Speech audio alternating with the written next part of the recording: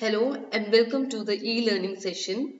In today's topic, we will be discussing about orientation, which is most important and is a part of the hotel industry, which every new employee has to go through it. The next session, which deals with the function of recruiting, selecting, hiring and orienting and a training employee, it is important that each organization identify the potential sources of labor for their housekeeping department, internal and the external sources that could be taped are discussed in this particular session. The entire process of interviewing has been discussed in the previous slide with the proper flow of a training and recruiting, etc. The process of orientation and the executive housekeeper role is the same and it is very much essential. A checklist for orienting new employee into the housekeeping department has been provided to help formulate an orienting program with an hiring process is over the condition of an employee is like this he doesn't know where he has to go. He's failed to understand where, in which department he has to report, what he is supposed to wear, where he is supposed to go, or what he is supposed to do. The condition became like this, as shown in a picture. So very well, we will be telling you uh, in this particular slide that what is all about orientation and what a employee, a new employee should know so after the hiring process is over, the new employee are now on a payroll of the establishment. The new incomers need to be introduced to the people and to be familiarized with the environment in which they are to work. This is done through an orientation or induction program. Orientation is the guided adjustment of a new employee to the organization his or her work environment and a job. So orientation is very important for a new employee to know and to familiarize by the different areas or different people who are working in an organization. The orientation with the hiring process gets over, the new employee when he comes on the payroll, it is very much important to know about the establishment. The new incomers needed to be introduced by the workers or maybe by the HODs or the head of the department.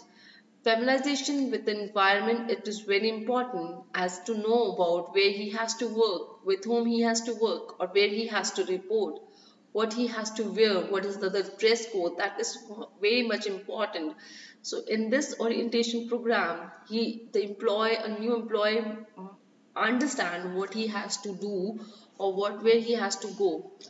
This is done through the orientation or a training. It depends upon hotel to hotel how many hours or how many days the orientation goes on. In some of the organization, orientation may be for a three days, may, it could be for a one day or it could be for a one week so or maybe 15 days where the, uh, where the employee understand by the various uh, organizational various head or the HODs or the departmental uh, assistants where he has to go which where he has to report or what he has to do orientation is a guided adjustment as we have already spoken before that it is a guided adjustment of a new employee to the organization.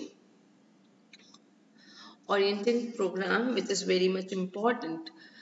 Uh, the history of the organization needs to be told to a new employee which he or she will be joining to the department. So he must be familiar about where he is supposed to work and what he is doing where he is working so the history of the organization is need to be told at the time of orientation. General policy needs to be discussed with an employer with the proper practicing of the organization. Department where are the various department and what are the location of the various department and what does it function? It needs to be told to them. Staff benefit location of the staff where the clock room are uh, toilets, clockers, restaurant, restrooms, staff, and so on needs to be told to a staff whenever he or she is doing the orientation.